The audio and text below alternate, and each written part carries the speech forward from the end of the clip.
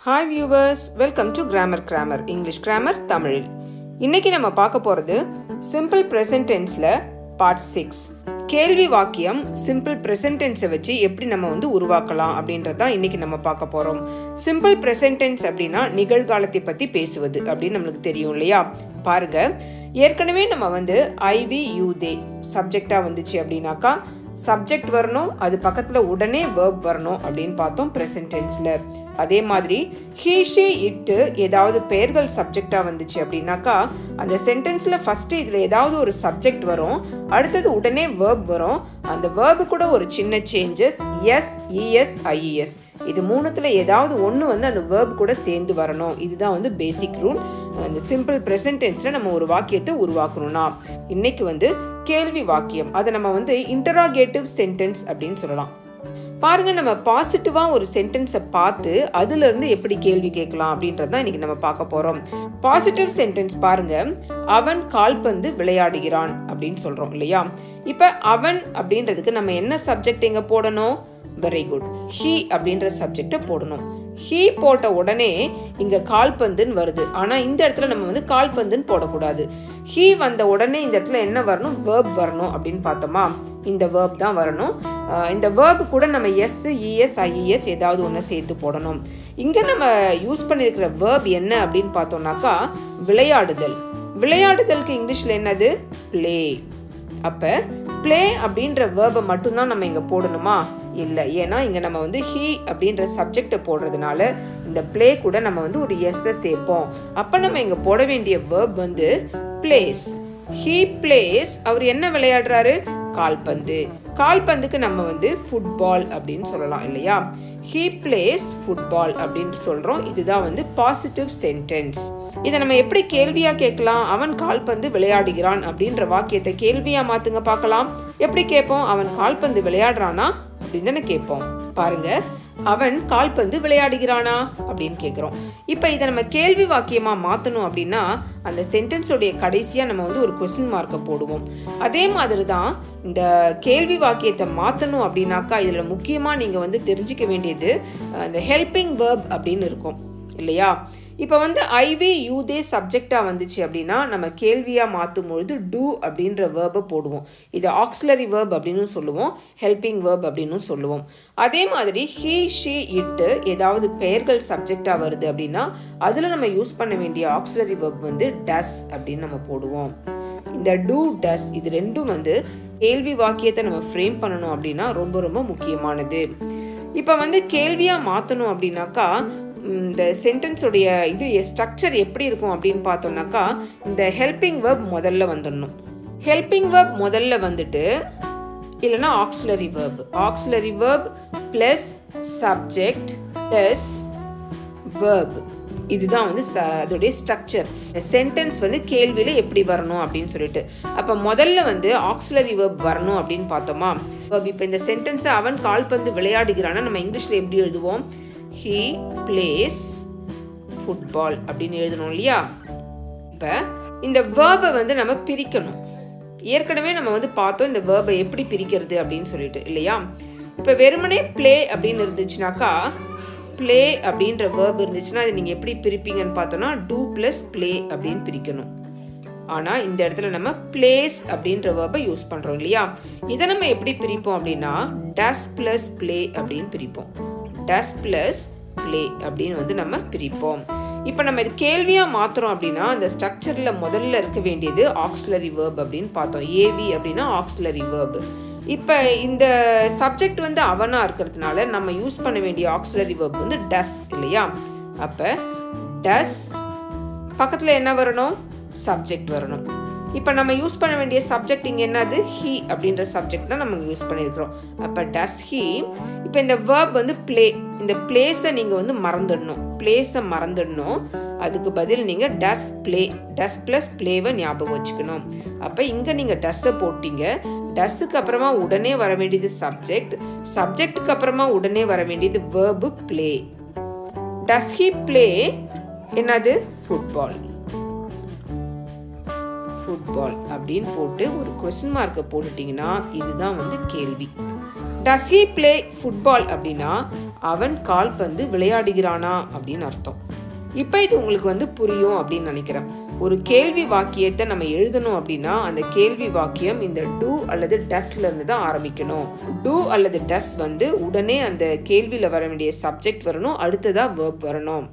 இதை நீங்கள் ஞாபகம் வச்சுக்கிட்டிங்கன்னா உங்களால் எந்த மாதிரி வேணால் கேள்வியை உங்களால் சிம்பிள் ப்ரெசன்ட் டென்ஸில் கேட்க முடியும். இப்போ ரெண்டாவது பாருங்க. அவர்கள் பள்ளிக்கு செல்கிறார்கள் அப்படின்னு சொல்கிறோம் இது வந்து ஒரு பாசிட்டிவ் சென்டென்ஸ் இல்லையா? இதை நம்ம இங்கிலீஷில் எப்படி மாற்றலாம் அப்படின்னு பார்த்தோம்னா இதில் இருக்கிற சப்ஜெக்ட் யார்? அவர்கள். அவர்கள் அப்படின்றதுக்கு நம்ம இங்கிலீஷில் என்ன சொல்லுவோம்? தே அப்படின்னு சொல்லுவோம் இல்லையா? அப்போ தே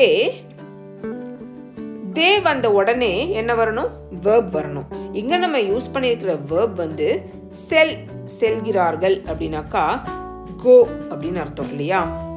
அந்த வேர்ப் செல்லுதல் அப்படின்றதுக்கு தம் இங்கிலீஷில் வந்து கோ அப்போ தே கோ எங்க செல்கிறார்கள்? பள்ளிக்கு. ஏற்கனவே நம்ம வந்து பார்த்துருக்குறோம் இல்லையா? இந்த இக்கு அப்படின்றதுக்கு இங்கிலீஷில் என்ன போடணும்னு சொன்னோம்? டூ அப்படின்னு போடணும் இல்லையா? டூ அப்படின்னா இக்கு அப்படின்னு அர்த்தம். அப்போ தே கோ டு ஸ்கூல். எங்க சொல் செல்கிறார்கள்? ஸ்கூல். அவர்கள் பள்ளிக்கு செல்கிறார்கள் அப்படின்னா தே கோ டு ஸ்கூல் அப்படின்னு நம்ம பார்த்தோம் இல்லையா? இது வந்து ஒரு பாசிட்டிவ் சென்டென்ஸ் நேர்மறை வாக்கியம். இதை நம்ம வந்து இப்போ வந்து இன்டராகேட்டிவாக மாற்ற போகிறோம் என்னவா மாற்ற போகிறோம் கேள்வி வாக்கியமா மாற்ற போறோம். கேள்வி வாக்கியமா மாற்றணும் அப்படின்னா முதல்ல நம்ம தெரிஞ்சுக்க வேண்டியது அங்கே வர வேண்டிய ஆக்சிலரி வேர்ப் என்ன அப்படின்னு பார்க்கணும். ஆக்சிலரி வேர்ப் என்ன அப்படின்னு நீங்கள் தெரிஞ்சுக்கணும்னா அந்த சென்டென்ஸில் இருக்கிற வேர்ப் என்ன அப்படின்னு பார்க்கணும். இங்கே நம்ம யூஸ் பண்ணியிருக்கிற வேர்ப் கோ அப்படின்னு இருக்கு இல்லையா? கவனம் வச்சுக்கோங்க. நம்ம இங்கே சப்ஜெக்டாக யூஸ் பண்ணியிருக்கிறது தே ஐவி யூதே சப்ஜெக்டாக வந்துச்சுன்னா வெறுமனே வேர்ப் தான் யூஸ் பண்ணுவோம் இல்லையா? அதனால நம்ம வந்து கோவை அப்படியே போட்டோம்.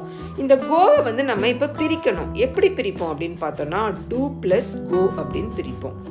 அப்போ இந்த டூ அப்படின்றது ஆக்சிலரி வேர்ப் இந்த கோ அப்படின்றது மெயின் வேர்ப் இப்போ இந்த பாசிட்டிவ் சென்டென்ஸை வந்து நம்ம கேள்வியாக மாற்ற போகிறோம் அப்படின்னாக்கா அது எப்படி மாறும்? அவர்கள் பள்ளிக்கு செல்கிறார்கள் அப்படின்றத நம்ம அவர்கள் பள்ளிக்கு செல்கிறார்களா அப்படின்னு தான் கேட்போம் இல்லையா? இப்போ வந்து கேள்வியாக மாற்றணும் அப்படின்னாலே அதில் யூஸ் பண்ணியிருக்கிற ஹெல்பிங் வேர்ப் என்ன அப்படின்னு நம்ம பார்க்கணும். இப்போ நம்மளுடைய கேள்வி வந்து இந்த ஆக்சிலரி வேர்பில் தான் ஆரம்பிக்கணும். அப்போ ஏன் இந்த ஆக்சிலரி வேர்பில் ஆரம்பிக்கணும் டூவில் ஆரம்பிக்கணும் அப்படின்னா நம்ம வந்து சப்ஜெக்ட் வந்து தேன்னு இருக்குது. ஐவி யூதே சப்ஜெக்டாக வந்துச்சுனாக்கா டூ தான் ஹெல்பிங் வேர்பாக வரணும்.